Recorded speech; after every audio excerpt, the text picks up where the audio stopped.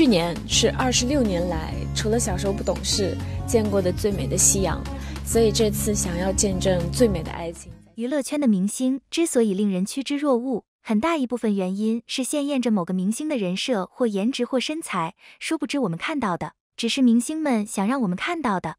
实际上，靠着过度营销出圈，究其根本还是业务能力不够出众，要靠着营销人设或话题来为自己增加热度。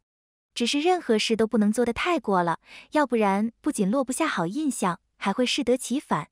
一迪丽热巴初时，这位新晋小花的时候，迪丽热巴便在节目中公开为自己树立了一个吃货的人设，还放出了一些剧组花絮。迪丽热巴不停地往嘴里炫东西，粉丝们亲切地称呼她为“胖迪”。为了自己的吃货人设不倒，镜头所到之处，迪丽热巴一直在吃吃吃，接地气的样子还是十分讨喜的。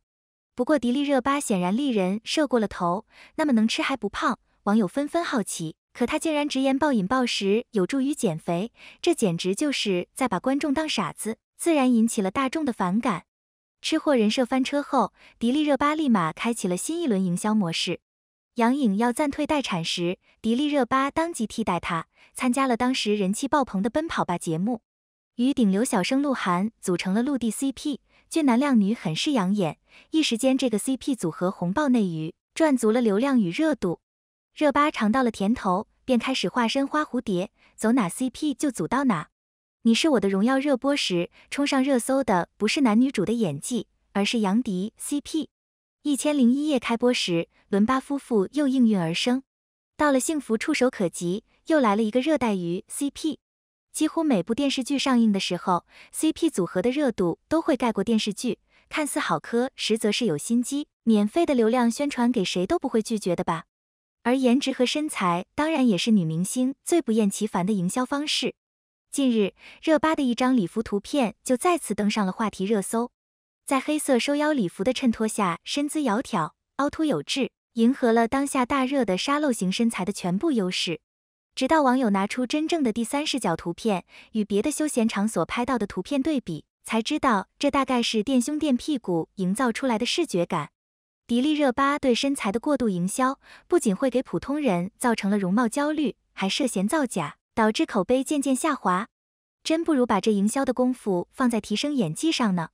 二宋轶，宋轶在娱乐圈的口碑一直很好，虽然没有大红，但她演技好还低调，颇有观众缘。在《伪装者》里，她饰演的于曼丽至今都令人意难平。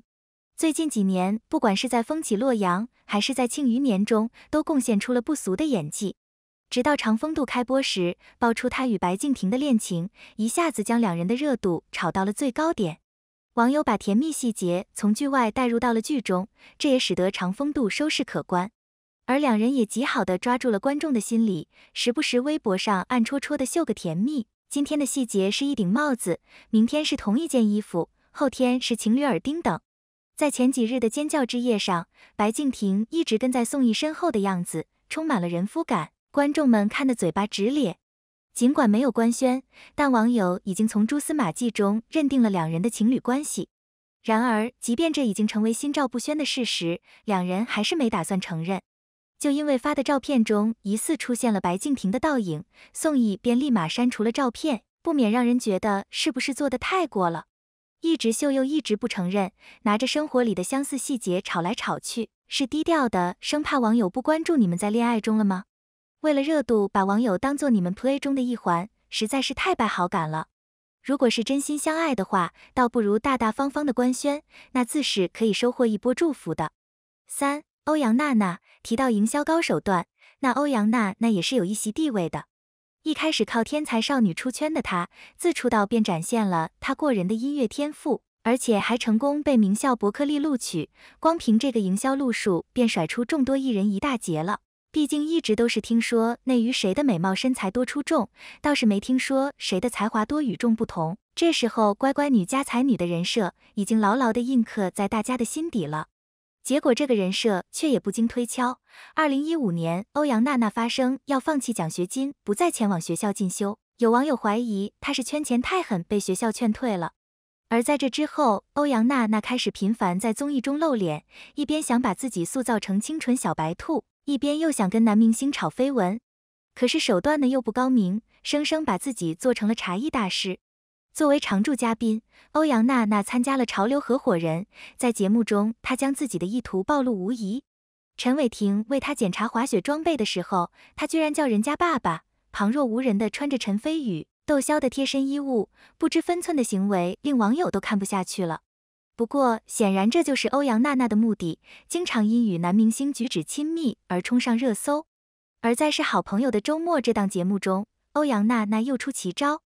撅起自己的嘴巴，对身旁的杨颖和金靖说：“我有猫咪纹。”此话一出，饶是微笑唇的杨颖和喜剧人的金靖都一脸无语的瞧着他的脸，像极了电视机前的各位观众，就像是一个学习很好的人，一直说我没考好，但碍于礼貌，杨颖和金靖只能对着他猛一顿夸和赞扬，但是心里大概想的是钱难赚，从天才提琴手到清纯小白兔，再到外贸营销。欧阳娜娜还真是多维度发展呢，唯一的几部作品也都是靠着 CP 来维持热度的，这样的营销方式难道是永久不衰的吗？还是多关注关注自己的演技吧。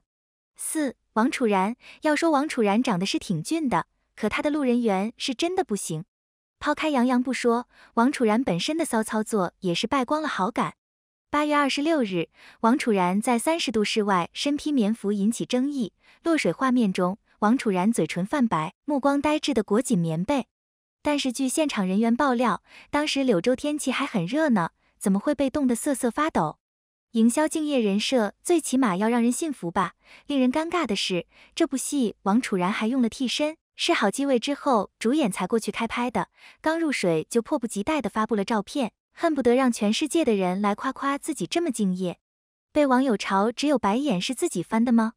除此之外，他还一直营销小刘亦菲的称号，但是却在这件事上翻车了。一面标榜自己是小刘亦菲，一面到处买通稿拉踩天仙姐姐的颜值。人红是非多，由于通稿太多，网友扒出了王楚然的旧照。早期照片中，王楚然五官平平，与现在的形象大相径庭，与天仙姐姐毫无相似之处，不免让人怀疑是不是微调了。细数一下，这位姐姐的营销手段都不是很高明。由于他的过分营销，路人缘崩塌了。他主演或参演的电视剧、商务代言被网友抵制，真是搬起石头砸自己的脚。当初刘诗诗刚出道的时候，也是有小刘亦菲这样的通稿的，但是后来人家靠着自己的努力和演技，开辟了属于自己的淡颜系道路，也是收获了一众粉丝的。营销人设这个套路在娱乐圈已经屡见不鲜了，这个办法可以圈粉割韭菜。还能通过营销上热搜，增加话题度，毫无感情的作秀，但是演技是骗不了人的，没有业务能力支撑，终究还是一无是处的花瓶。